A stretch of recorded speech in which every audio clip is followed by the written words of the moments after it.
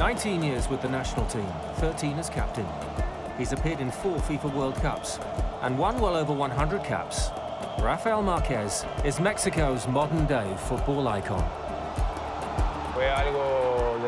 I was surprised to get the captaincy at such a young age when there were so many talented players around back then. That was at the 2002 World Cup in Korea and Japan. But it's probably what gave me the push to help the team. By becoming the leader I had to be. I've had the opportunity to play with Rafa, and the truth is that for me, he's the best international player Mexico has ever seen. He's been very important for Mexican football, both at national and international level. Eh, he was one of the first Mexicans to do well in Europe, achieving very important things, like winning La Liga and the Champions League. He is a winner in every sense of that word, a great leader. It has been an honour and a pleasure to be able to share a dressing room and play on the same pitch as him, even to talk to him during meals. He is one of the people that has done the most for Mexican football, and I have great admiration and respect for him. He has always been a motivation for me, and knowing him for so many years has been a great honor. Today, after all these years, I still have the same admiration I used to have for him. He's a player that has influenced my career a lot. He's inspiring and an example for everyone around him.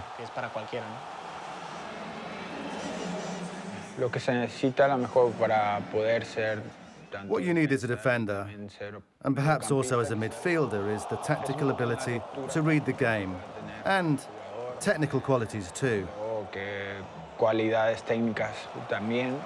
But the most important thing is to know how to move on the pitch, depending on where you get the ball, where the players are positioned, and the defensive line.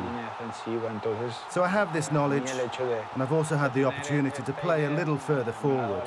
So it's worked for me.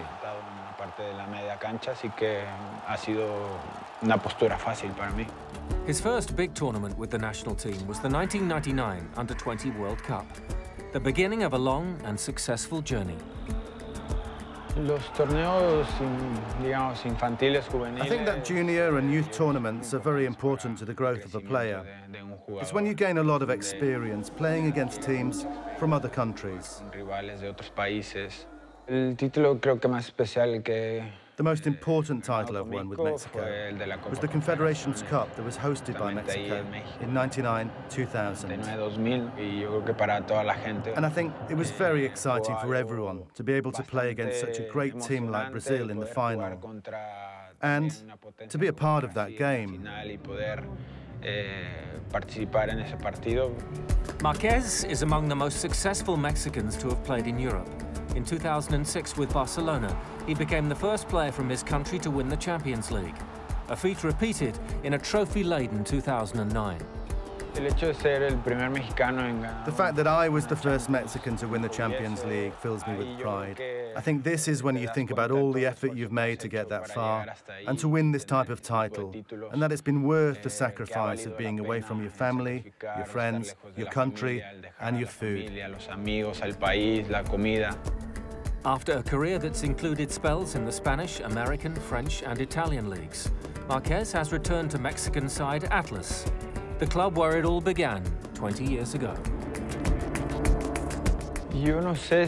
I don't know if it's always important to go back to where you started your career.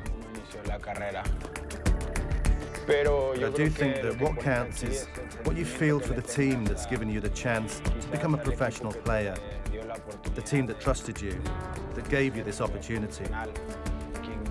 So perhaps it's a good thing to go back and repay some of what the team has given you. I saw his Atlas debut as a young boy. I was an Atlas fan, and I was there at the stadium. He was almost a champion with my beloved team, and we also played at the same academy. I've seen him grow ever since he was with Atlas. I saw him go to Europe and to Barcelona and saw everything we know about him. He's a professional, without a doubt. He's a player with great mentality. I've always thought that you must have two things, football quality and great character. And I think Rafa has the perfect blend, and that's why he's had such a great career. I don't know if I'll make it to Russia, but time will tell. Eh, time will tell if I get the opportunity of going to another World Cup. si tengo la oportunidad de, de estar en un mundial.